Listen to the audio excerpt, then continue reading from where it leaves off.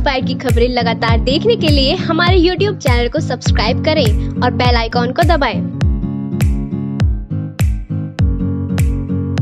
इस खबर के प्रायोजक है KMC health city and KMC cancer institute, उत्तरी भारत का आधुनिकतम सुविधाओं से युक्त चिकित्सा संस्थान, Baghpat road, Meerut social media ने लोगों को अभिव्यक्ति की आज़ादी दी तो कुछ परिवारों के लिए यह परेशानी का सबब भी बन गया है एक सोशल प्लेटफॉर्म पर पहले दोस्ती हुए फिर यह नौबत आ गई कि नाबालिग किशोरी अपने परिजनों को धोखा देते हुए घर से भाग गई।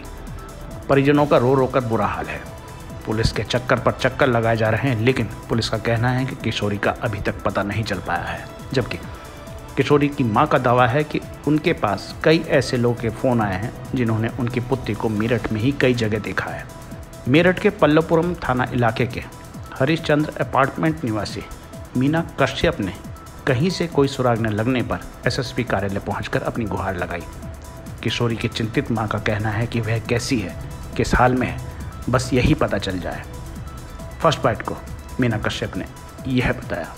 मैं एसपी ऑफ़िस आई थी, मैंने अपनी बेटी की कंप्लेंट में की दर्ज कराई थी पंद्रह तारीख को। पंद्रह तारीख को सर देवेश जी ने लिख लिया था, लेकिन अभी तक कोई कार्रवाई नहीं करी।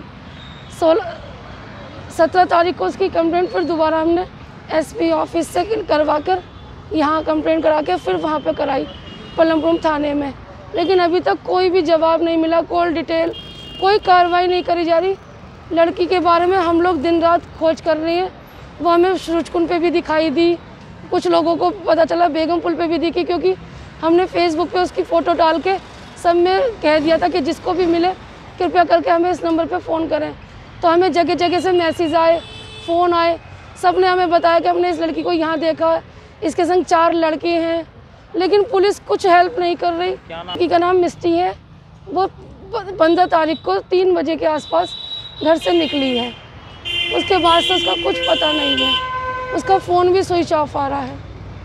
और कॉल डिटेल कुछ भी नहीं निकाली गई। हाँ आज सुबह चार तीन नंबर से फ़ोन आए। उनमें से एक लड़का वीडियो भेजता है फिर डिलीट कर देता है।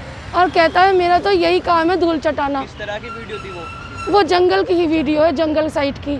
जहाँ ये मेट्रो का काम चल रहा है ना वो पिलर भी दिखाई दे रहा है। उसका मेट्रो के जो लगे हुए टीन शेड। इस खबर में फ़िलहाल इतना ही है। आप देखते रहिए फ़र्स्ट बाइट टीवी नमस्कार।